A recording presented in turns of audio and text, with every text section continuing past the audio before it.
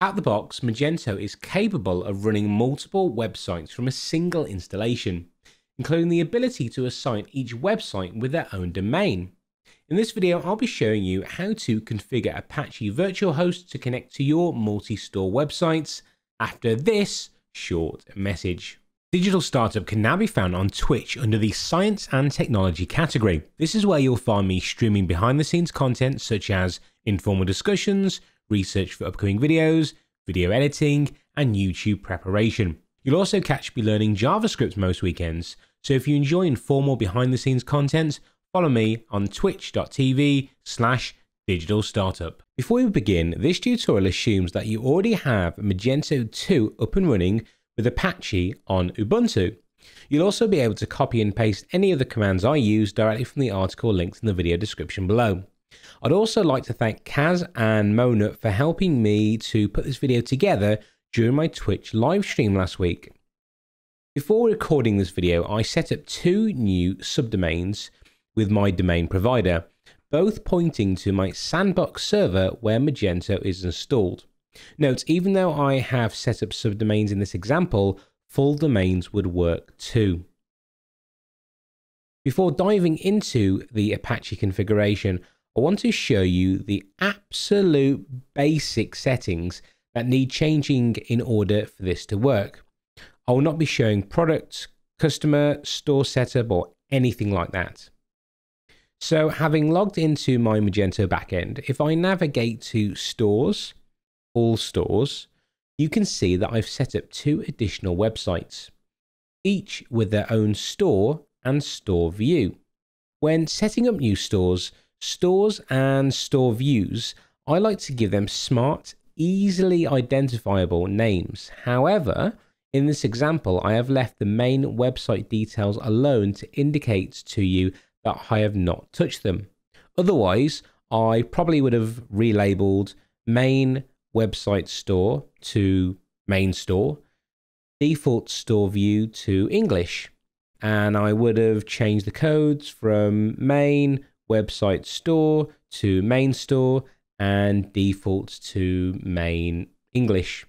If you haven't done this yet, you have to create websites before store and store before store view. Otherwise, you won't be able to link them. Now, if we go into stores, configuration, web, you'll also see that I've updated the base URLs for the two new websites. By clicking the scope drop down and clicking on one website, you can see that I've updated the default value of the base URL, the base link URL, the secure base URL, and the secure base link URL to include the one dot subdomain that I set up. And then if we switch the scope to two websites, you'll see that I've done the same thing there as well, adding the two dot into the domain for base, base link, secure base, and secure base link. Finally, I also changed the theme and logo for each of the three stores, purely to indicate that we are in fact loading different websites during the testing phase. I did this under content, design, configuration, and updated the parents records to each website.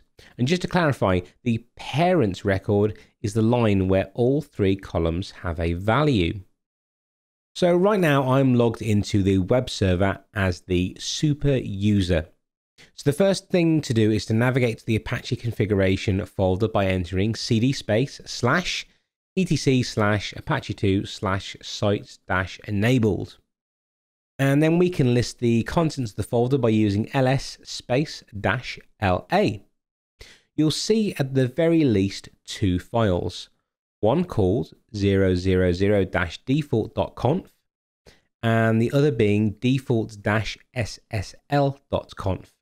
In my example, I have an extra file called 000-default-le-ssl.conf. This is only because I already have a Let's Encrypt SSL certificate installed for the main website. Rather than create new Apache configuration files from scratch, we can simply copy the default file to create new ones from it. As I alluded to earlier, I like to name things so that they're obvious to me. So I'll be naming my new configuration files as one.digitalstartuptutorials.co.uk.conf and then two.digitalstartuptutorials.co.uk.conf.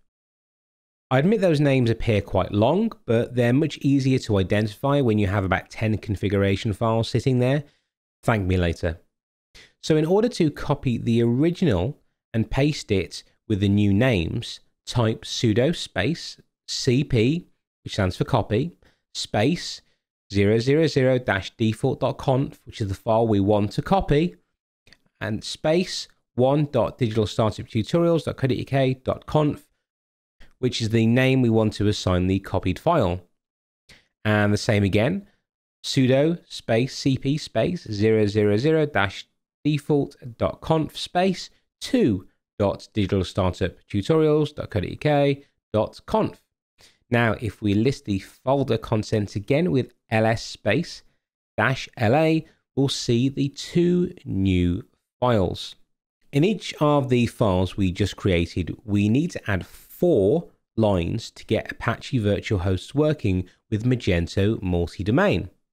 Open the first configuration file with a nano text editor by typing sudo space nano space 1 dot digitalstartuptutorials.co.uk.conf.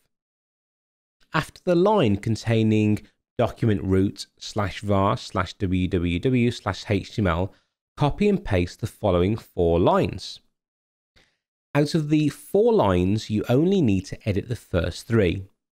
The server name, which will be your domain URL, the server alias, which again will be your domain URL, and then the set env mage run code, which will be your website code. As you remember from earlier, I called the code for my website one. So therefore, I've got one. Once updated, save the changes by pressing Ctrl X to exit, Y to save, and Enter to confirm. Now let's do that again with our two website. Open the configuration file by typing sudo space nano space 2 digitalstartuptutorials.co.uk.conf and then add the four lines again after the document slash root slash www slash html line and again, as you can see, my server name and server alias are my domain URLs. And the set env mage run code is the code that I signed this website back when we set it up in Magento, which was two. And once finished, save your changes by hitting Control X to exit, to save, and enter to confirm.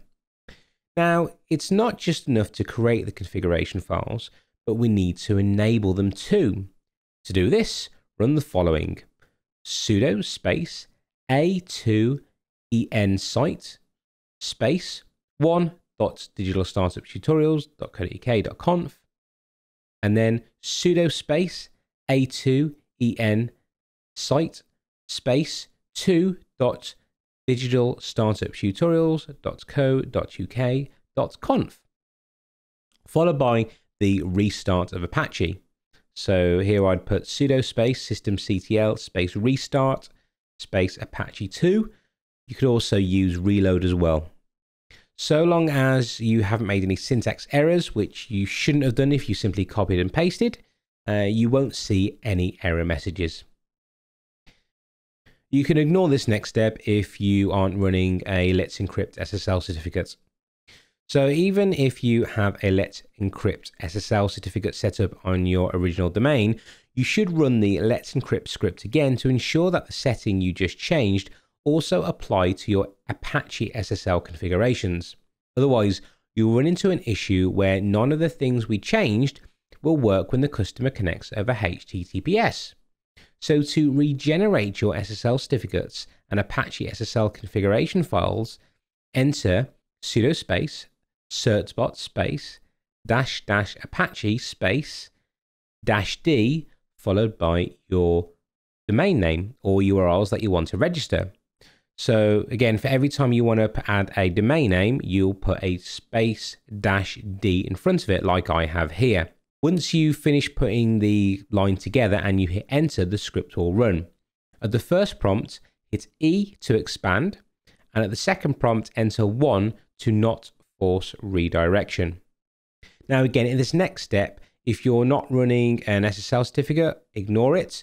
But if you are running an SSL certificate through something like DigiCert or Global Sign, where you have to set up your own configuration files, this is just a friendly reminder to remind you that once you create your SSL certificates, to make sure that you add those four lines we added earlier to your Apache SSL configuration files.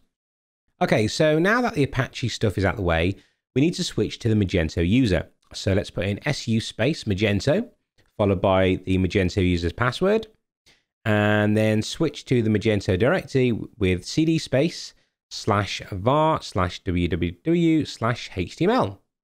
And now let's start by redeploying static content.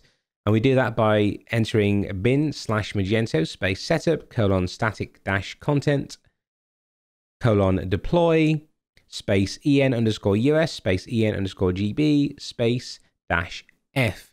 Now, before you go ahead and copy and paste that, my store contains both the US and GB locales, so change yours accordingly to your own setup.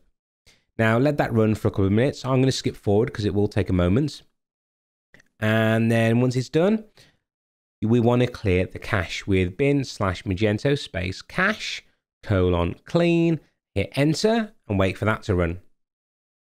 And then as soon as that's finished running, it's time to test our three domain names. So first things first, let's test out the main domain name, just make sure it's working. So in that case, that's going to be digitalstartuptutorials.co.uk for me. And we'll let that load. It will take a moment because we just cleared the cache and redeployed static content. So everything's going to be slow on the first load. And there we go. So as you can see, this is the main website confirmed by the logo that I changed earlier. And then we can try our next domain name, which is one dot. And let's wait for that to load. And there we go. We can see that one's loading correctly, confirmed by the logo that I changed earlier. And finally, we will load up to digitalstartuptutorials.co.uk and see if that loads correctly. And there we go. We can see that that's loaded correctly as well. That's pretty much how you do it. Like I said, I'm not going to be going over any of the configuration for multi-store setups. Uh, that might be content I uh, run into in the future, but that's not what this is a video is all about. So again, remember, you can copy and paste everything it from the article, and the link to that is in the video description below. You'll also find me on Twitch as well for the behind the scenes contents. Until next time, take care.